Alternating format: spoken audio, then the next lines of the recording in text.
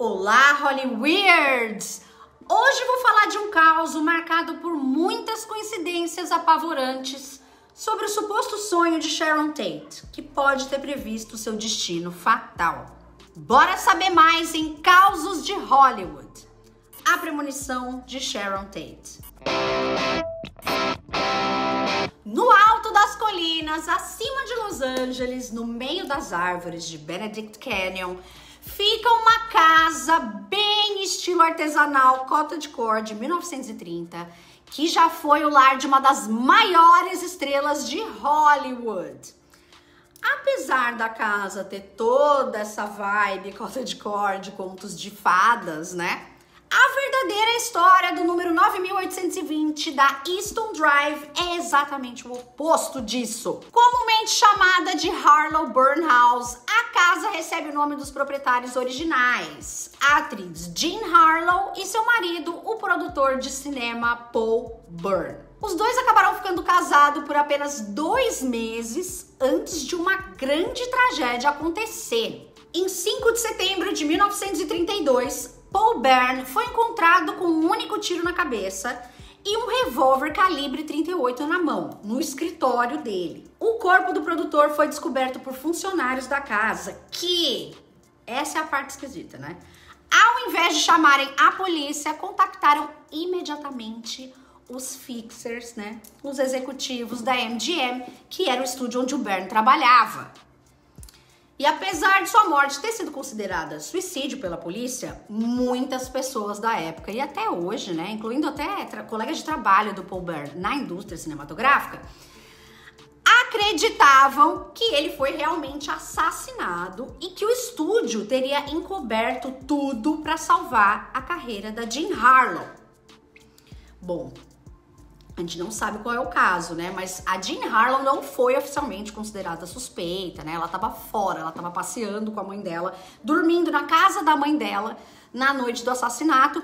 E tinha também uma outra suspeita que era. Suspeita não, né? Fofoca. Que era ex-mulher do Paul Byrne, chamada Dorothy Millette. Mas ela estava internada num hospital psiquiátrico. Teria sido difícil ela sair do local, ir até Los Angeles, né? Então, não tiveram suspeitos oficiais e a morte foi considerada oficialmente um suicídio. Encontraram até um bilhete de suicídio no escritório do Paul Byrne. Seja qual for o caso, Paul Byrne não seria o último dono da casa a sofrer uma morte prematura. Em 1963, a casa foi vendida para Jay Sebring.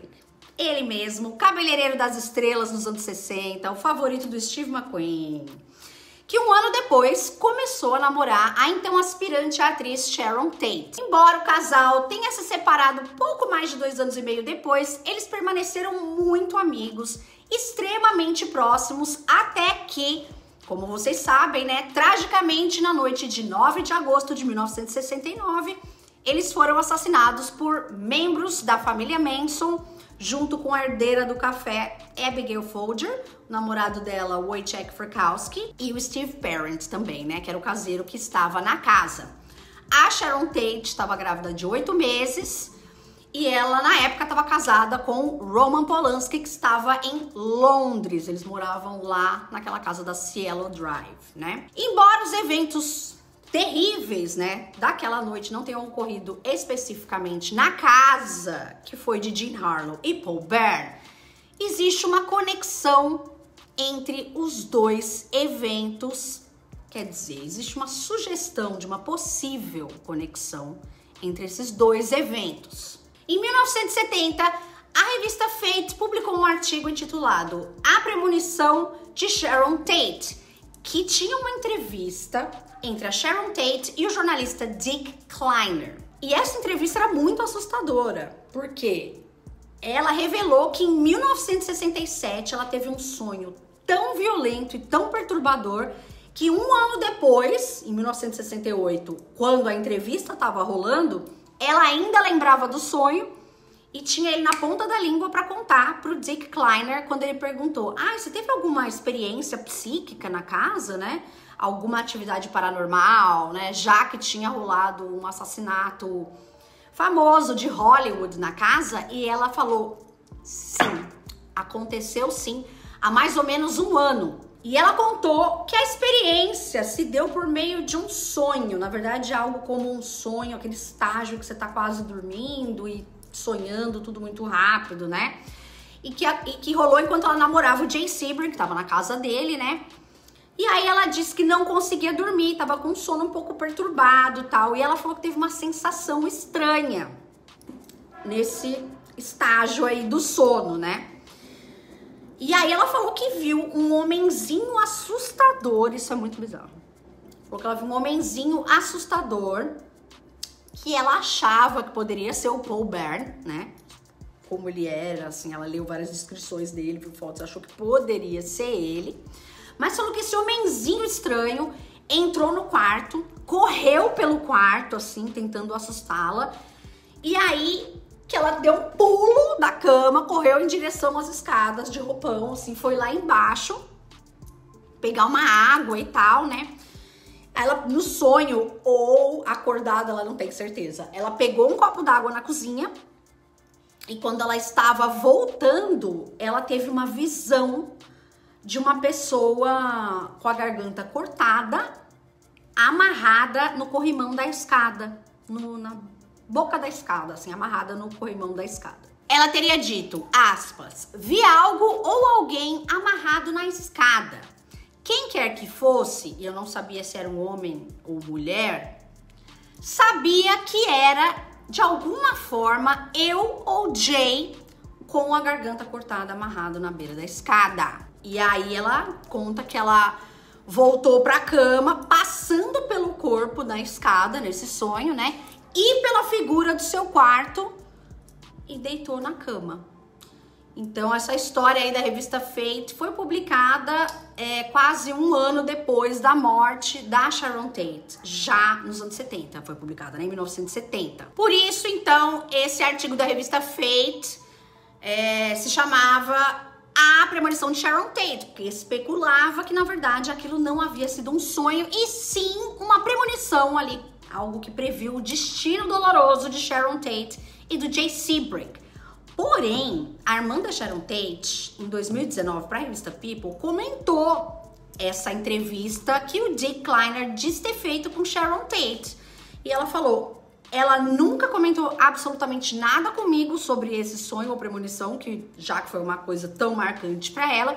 E eu conversei com todos os amigos próximos dela e verifiquei que nenhum deles é, tinham sequer ouvido ou tinham qualquer conhecimento dessa história e ainda chamou a coisa toda de cafona. Embora a família e os amigos de Sharon Tate neguem veementemente que ela tinha tido, né, essa premonição, a matéria publicada pela revista Fate levou muitas pessoas a acreditarem que talvez realmente o fantasma do Paul Byrne habite aquela casa.